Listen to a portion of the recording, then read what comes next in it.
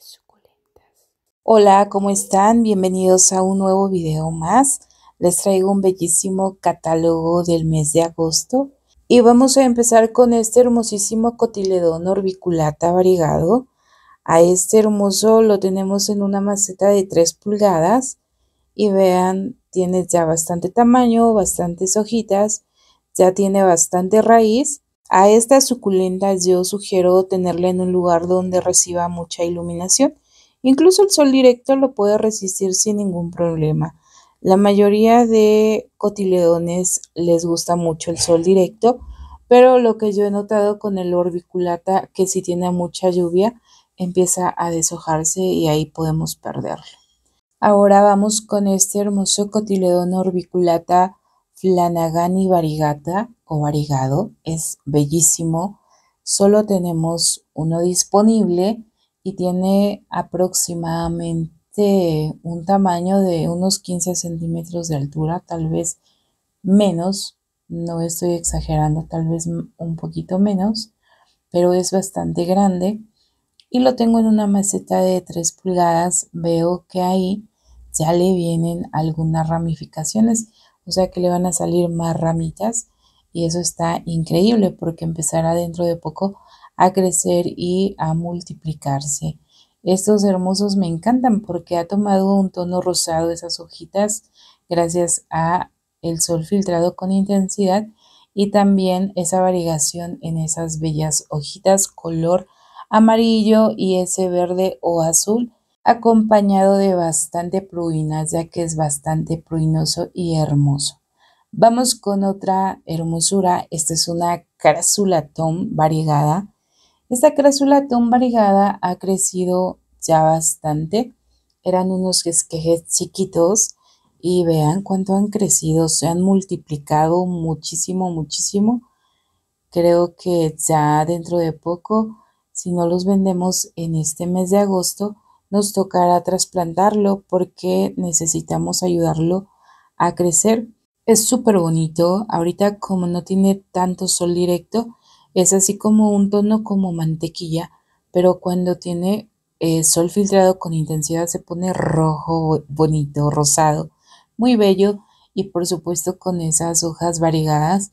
Tal vez no se logra notar tanto la variegación porque es muy chiquito, pero de cerca se ve increíble. Es súper hermoso y tenemos dos disponibles. ¿Cómo lo podemos reproducir? Por esqueje, por semilla y utilizar un sustrato que drene perfecto.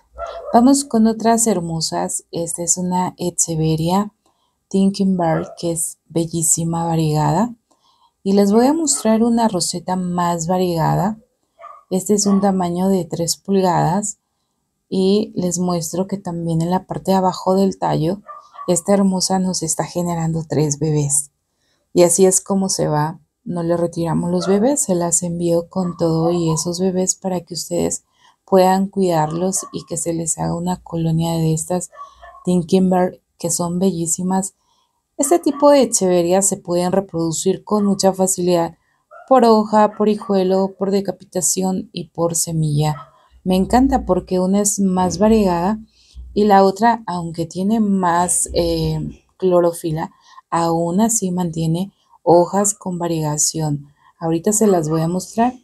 Ahí podemos notar que se ve como más verde, pero también tiene esas líneas con variegación. En la parte de abajo, quiero que noten que también tiene ahí algunas hojas mitad eh, verdes y mitad, mitad variegadas. Las dos están increíbles y tenemos cuatro disponibles. Están muy bonitas, están bellísimas. Cualquiera de ellas es bonita. Una con más variegación y la otra con más clorofila, pero aún así no deja de ser bellísima. Ahora vamos con este hermoso calanchoe arcoíris de fuego variegado que es hermoso cuando tiene mucho sol directo, llega a tomar un tono rojo pero increíble bellísimo, bellísimo. Y solo tengo dos disponibles. A este hermoso lo podemos colocar en un lugar con sol directo o sol filtrado. El sol directo lo resiste perfecto y toma unos tonos pero increíbles.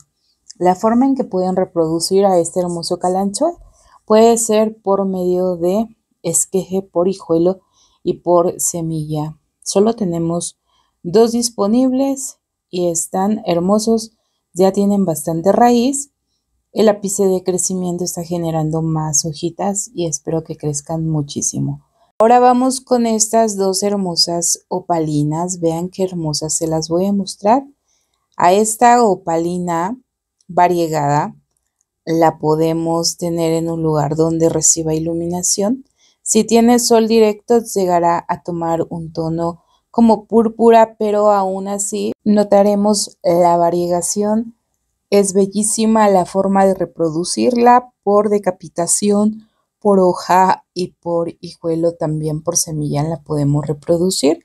Me encanta porque es una suculenta de hojas gorditas y al ser una suculenta de hojas gorditas las hojas se reproducen con bastante facilidad. El riego lo vamos a hacer espaciado. Recuerda que las suculentas cuando son gorditas, el riego debe de ser menos, no debe de ser tan exagerado porque pueden llegar a pudrirse. Cuando hay hojas gordas hay más reserva de agua ahí y pueden estar por mucho tiempo sin riego. También es una suculenta muy pruinosa y súper bonita. Me encanta muchísimo. Ahora vamos con esta hermosa que es un Graptupetalum Purple Delight variegado. A esta hermosa suculenta yo recomiendo colocarla en un lugar donde reciba mucha iluminación. También pueden ponerla a sol directo. Primero hay que aclimatarla antes de exponerla porque no sea que la vayan a quemar porque no está acostumbrada al sol directo.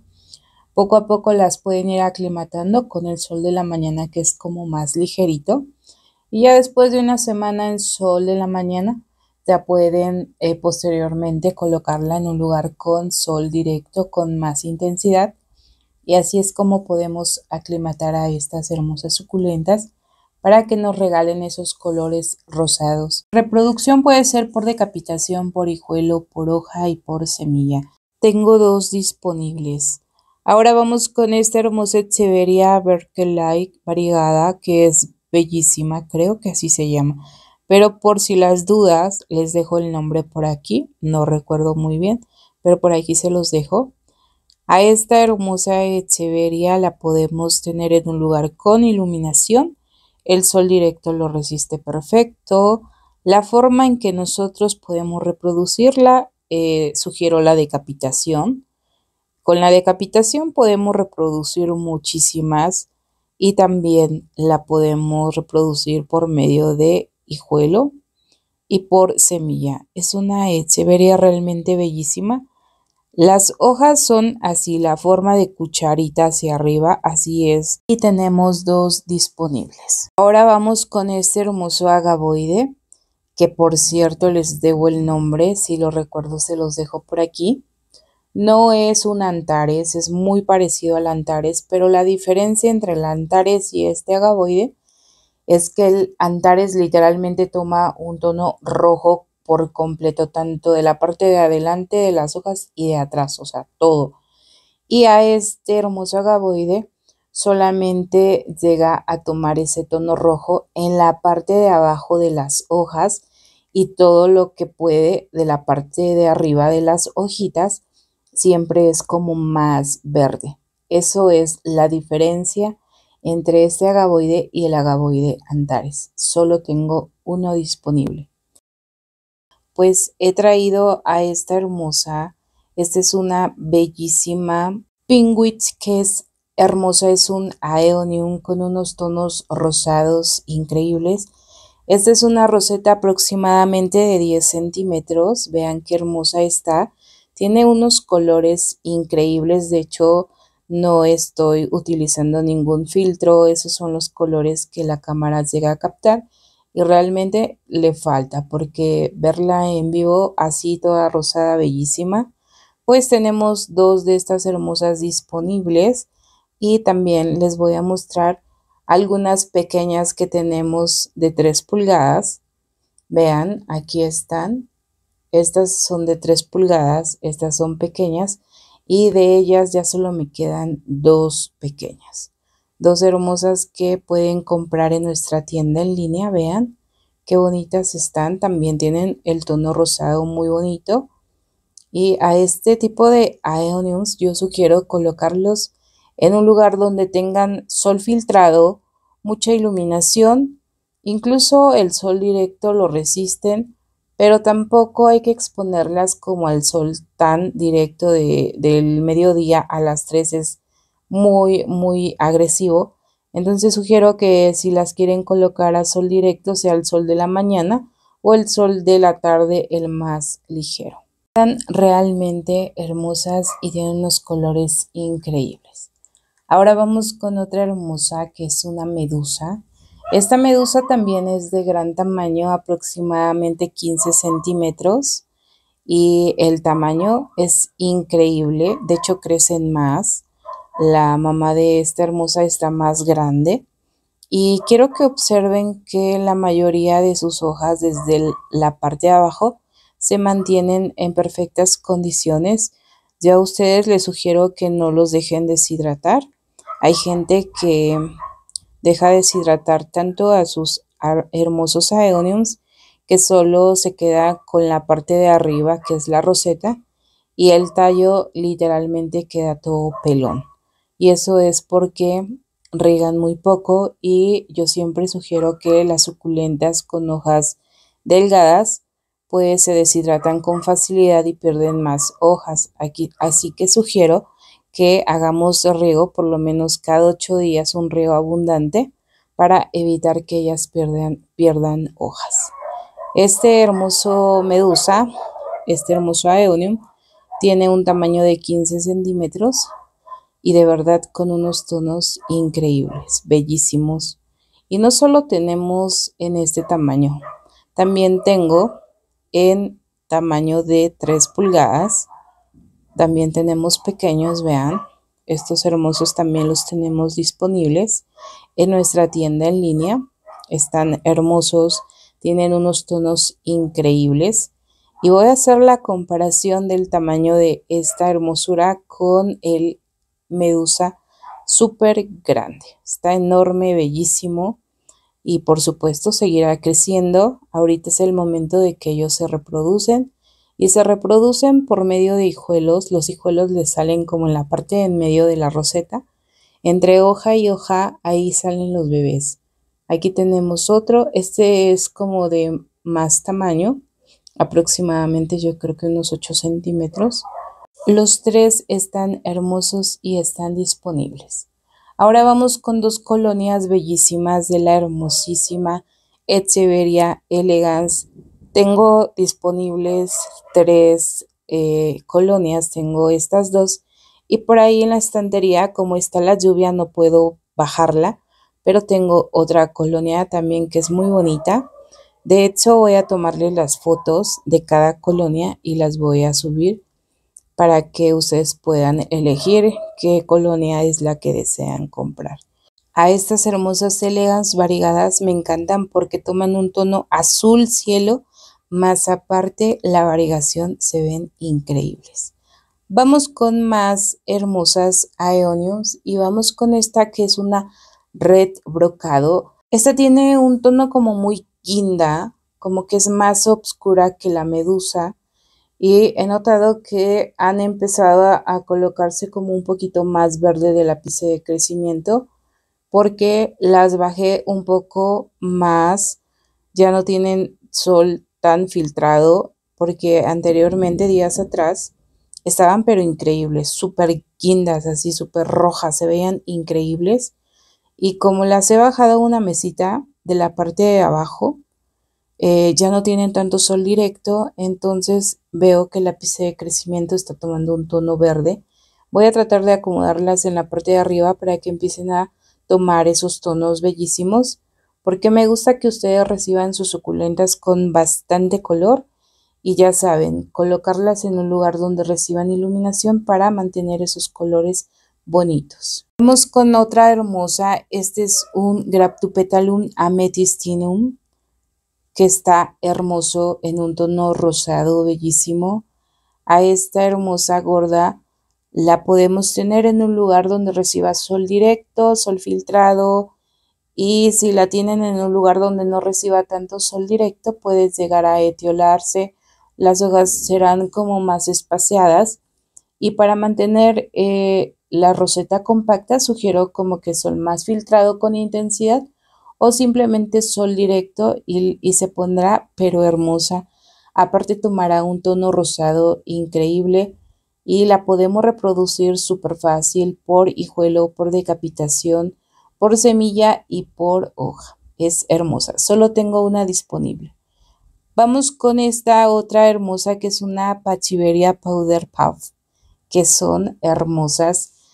Las tres rosetas están disponibles. Me tocará separarla en estos días ya que cada una pues se venderá independiente. Obviamente si quieren las tres, por supuesto que se las puedo vender. Las tres están disponibles. A esta patsiveria la podemos reproducir por medio de hijuelos, decapitación, por hoja y por semilla. Me encanta porque tiene un tono como azul, eh, cielo, pero con bastante pruina y se ve increíble, muy bonito. Es una suculenta que tengo en un lugar con mucha iluminación, por eso es que se mantiene bastante compacta y se mantiene con mucha pruina. Recuerden que el sustrato que utilizamos es un sustrato drenante y de esa forma evitaremos pudrición en nuestras suculentas. Déjenme un comentario si quieren un video de cómo creamos el sustrato para estas hermosas suculentas. Pues vamos con otra belleza. Esta es una Graptoveria jacaranda. A esta jacaranda nosotros si la ponemos en un lugar donde reciba mucha iluminación, tomará un tono como lila, bellísimo, bellísimo. Y también va a ir acompañada de esta crásula muscosa que es muy bonita. Vean qué hermosa es. Las dos se ven ahí increíbles y solo tengo una disponible. Solo tengo una disponible y aparte ya le viene un hijuelo en la parte de abajo. Es lo que logré a ver. Precisamente las saqué para que recibieran lluvia y vean, se ponen súper bonitas cuando les cae lluvia. Esta también estaba en la lluvia, por eso está toda mojada. Y pues esta es una hermosísima o oh, hermosísimo cotiledón orbiculata o fila o pilla. Está bonito, está hermoso. Es con unas hojas gorditas, bastante pruinoso, muy, muy pruinoso. Veo que ahí ya le vienen más hojitas nuevas, más ramificaciones. A esta suculenta la podemos reproducir por medio de esquejito, por hoja, por decapitación y también por semilla. He notado que a esta sí le gusta la lluvia directa y la resiste muchísimo. Tenemos dos disponibles. Estas siempre eh, se van muy rápido porque son muy bonitas y con esas hojas gordas, bellísimas. Ahora vamos con esta otra. Esta es una hermosísima Grab tu Petalum paraguayense variegada. Solo tengo dos disponibles. Es esta y otra que está en la estantería y ahorita está recibiendo lluvia. Solamente tenemos esas dos y les voy a dejar una foto para que vean la variegación de esta paraguayense que es increíble la forma de reproducirla por hijuelo, por decapitación, por hoja y por semilla.